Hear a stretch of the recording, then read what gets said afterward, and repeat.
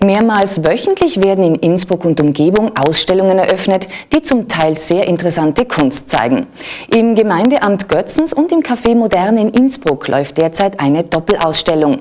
Gerald Huber zeigt Werke, die den Fisch in verschiedensten Facetten im wahrsten Sinne des Wortes beleuchten.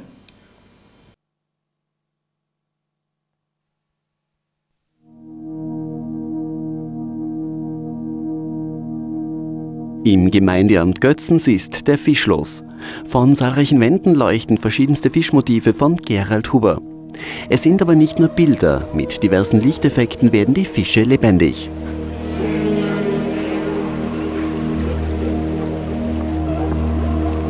Das Besondere an der 3D-Pop-Art ist, es sind dreidimensionale Bilder, wo Fischschwärme aus den Bildern heraus oder in die Bilder hineinschwimmen.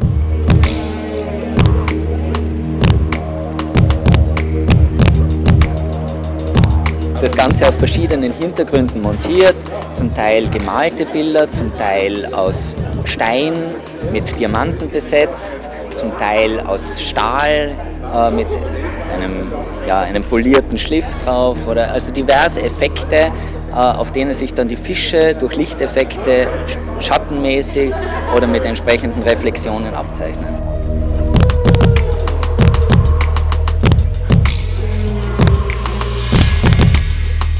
Die Vorliebe für Fischmotive resultiert bei Gerald Huber aus seiner Begeisterung zum Meer, zum Schwimmen, Schnorcheln und Tauchen. Seine Fischwerke symbolisieren Harmonie, Lebendigkeit und Lebensfreude. Das zeigt sich auch deutlich bei seiner parallel laufenden Ausstellung im Innsbrucker Café Moderne.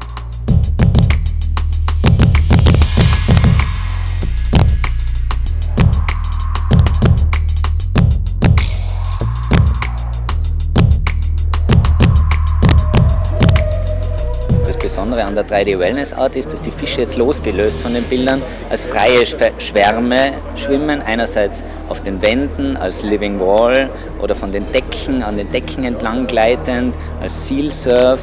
Also Fische, die jetzt unabhängig von den Bildern eine entsprechende Wellness-Inspiration in den Raum bringen.